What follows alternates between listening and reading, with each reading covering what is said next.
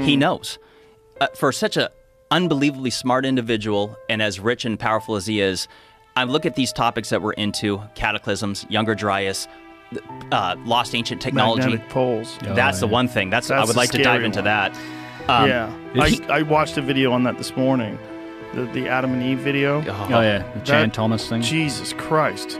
That's an interesting one. And is I find- that how how much of that is uh, agreed upon? That there could be With a the time mag- magnetic poles actually shift. So Yeah. this is science. It, they say that the last one was like 778,000 years ago, and we're more we're like something like 200,000 years overdue. Um, but the Adam and Eve story, the theory of that is that these it happens in cycles of 6,500 years, and that it's a 90 degree flip, but six days later, or on the seventh day, it corrects itself. The and- planet flips, not it, just it, the. it- that correct. It's a it's a planet flip 90 degree, and that because of it, the Earth essentially does a standstill. The sun will be direct, will basically stay in the same spot, causing heating like we've never experienced, and that the wind and the waters continue with their momentum. Because essentially, the wind travels at approximately 1,000 miles an hour at the equator. So the theory is that when that event happens, it's going to be cataclysmic. And here's the wild thing: is that in that document it says uh, a continental-sized tsunami being two miles high.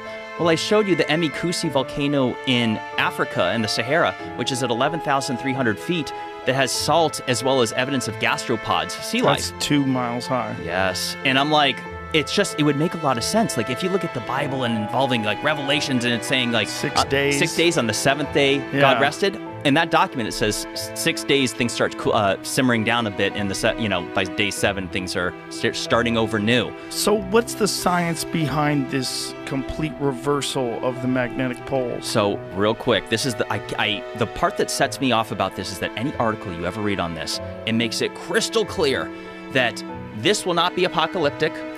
Maybe we'll have some, no, we'll potentially have some satellite communication issues that could affect our power grid and telecommunication systems, and that's going to be unfortunate. But don't worry, it's not a doomsday. I'm like, okay, first of all, if the grid goes down, that is doomsday. But number two, they don't know what they're talking about because they claim that the gene- geomagnetic pole shift is because of the interior, whether it's the iron core or whatever it is, the molten core does a shift, and because of it, that's why the, the compass will flip. But I'm like, if you look at the nature of earthquakes, they some originate in the crust, others originate in the mantle, in the in the parts that are that aren't solid. So I'm like, if you're saying that the interior that is molten does a shift, why on earth would you suggest that it wouldn't cause earthquakes or volcanic activity on the surface?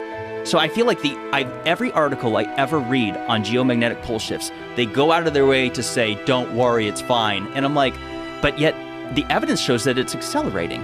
Back in just the 1990s, uh, it was traveling the pole. The North Pole was transitioning at 10 miles a year. Now it's at 40 or almost 40 miles. It's accelerating. And in the Adam and Eve story, it talks about actually no, not the Adam and Eve story. There was a documentary on Nova years ago that the evidence shows that when they've studied all the other volcanic rock uh, for prior known pole shifts because keep in mind there's hundreds that are known. This has happened throughout millions and millions of years. This is mainstream science. The poles do flip. They, they, but it's not that the Earth flips over. It's that the inside core does, and so your magnetic compass will flip. Like What causes it? uh, so, the whatever that molten core is, it does a shift inside. It allegedly happens in cycles, um, and we're long overdue. And when it happens, the other theory is that the the Earth's shields will be diminished